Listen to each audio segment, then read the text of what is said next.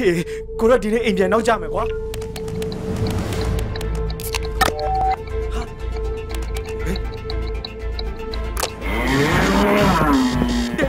ဲတော်မူကြပါဗျာမြမအမြန်ဆုံး plan plan 3G 4G အင်တာနက်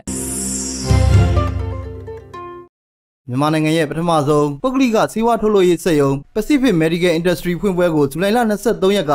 ဒဂုံတောင်ပိုင်းစက်မှုဆောင်မှာပြုလုပ်ခဲ့ပါတယ်။ မြန်မာနိုင်ငံမှာအစိုးရပိုင် BBI စေဝါထုတ်လုပ်ရေးနဲ့တိုင်းရင်းစေးထုတ်လုပ်ရေးလုပ်ငန်းတွေရှိနေပေမဲ့နိုင်ငံတကာစေဝါထုတ်လုပ်တဲ့ပုဂ္ဂလိကစက်ရုံကတော့အခုမှဖွင့်လှစ်နိုင်ခဲ့တာပါ။နှစ်စဉ်မြန်မာနိုင်ငံရဲ့စေဝါလိုအပ်ချက်တွေကိုနိုင်ငံတကာပေါ်မှီခိုနေရတယ်လို့နိုင်ငံတကာကဝင်လာတဲ့စေဝါတွေမှာလည်းတရားမဝင်စေဝါအတုတွေရှိနေပါတယ်။အခုဖွင့်လှစ်လိုက်တဲ့ Pacific Medical Industry စီးပွားထုတ်လုပ်ရေးစက်ရုံအနေနဲ့ကတော့ FDA မှတ်ပုံတင်မထားတဲ့စီးပွားတွေနဲ့ရှင်ပြိုင်နေမှာမဟုတ်ဘူးလို့ဆိုပါတယ်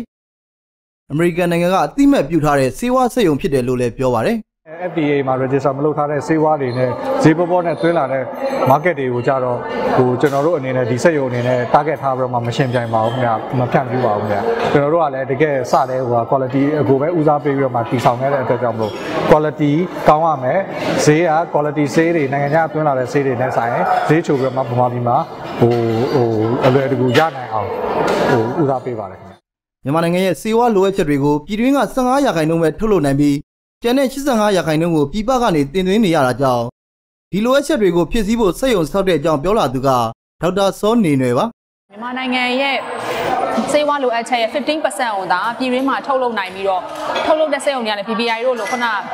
တက်မတော်စေဝါစက်ရုံတွေကပဲထုတ်လုပ်ပေးတာပေါ့နော်ဆိုတော့အခါ85% import သွင်းနေရတယ်ပေါ့နော်အဲ့တော့ဒီမှာမတို့ကစက်စက်ရုံသာတိစောက်မယ်ဆိုလို့ရှိရင်ပြည်တွင်းရဲ့လိုအပ်ချက်ကိုလည်းဖြည့်ဆည်းပေးနိုင်မယ်ဒါအပြင် import သွင်းရတဲ့အတွက်ဒေါ်လာလိုအပ်ချက်တွေကိုလည်း short ချပေးနိုင်မယ်ပေါ့နော်အလုပ်ကိုင်ခွင့်လန်းတွေလည်းဖန်တီးပေးနိုင်မယ်ကုသိုလ်လည်းရဝမ်းလဲဝါတဲ့အတွက်အမတို့ကဒီလုပ်ငန်းကိုဒီလှုပ်ဆောင်ခြင်းဖြစ်ပါတယ် ဒီစက်ရုံကနေနိုင်ငံတကာအဆင့်မီစီးပွားတွေလုံလုံလောက်လောက်ထုတ်လုပ်နိုင်ဖို့လဲမျှော်မှန်းထားကြပါတယ်။နိုင်ငံတကာနိုင်ငံမှာပြည်တွင်းစီးပွားထုတ်လုပ်ရေးစက်ရုံဆိုတာမရှိမဖြစ်လိုအပ်တဲ့အကြောင်းလဲအခုလိုချင်းပြခဲ့ပါသေးတယ်မှာဗမာပြည်မှာစေဝါလုံလောက်စွာထုတ်လုပ်နိုင်အောင်ကတ်ယောဂါတွေစိုက်ကတ်ခဲ့လို့ရှိရင်တခြားနိုင်ငံတွေကသူတို့ရဲ့နိုင်ငံအတွက်ပဲဖူလုံအောင်ထုတ်ပြီးတော့မှပြင်ပ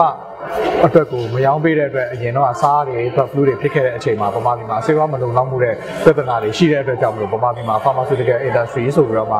ရှိတဲ့တယ်လို့ပြောတာကျွန်တော်တို့ရဲ့ပိုင်ရှင်ကယူဆပြီးတော့မှဟိုစတင်အဲဟိုဥတည်ခဲ့တာပေါ့ခင်ဗျာအဲ့ဒီညီမချက်အရာဒီမှာကျွန်တော်တို့က2017လောက်မှာဟိုဟာရခဲ့ပြီးတော့မှဟိုဒီအစိုးရကခွင့်ပြုချက်ရခဲ့ပြီးတော့မှကျွန်တော်တို့ကဒီ2014 15လောက်မှာမှ ကျွန်တော်တို့ဒီစက်ရုံယူစပြီးတော့မှဟိုတည်ဆောင်နိုင်ခဲ့တယ်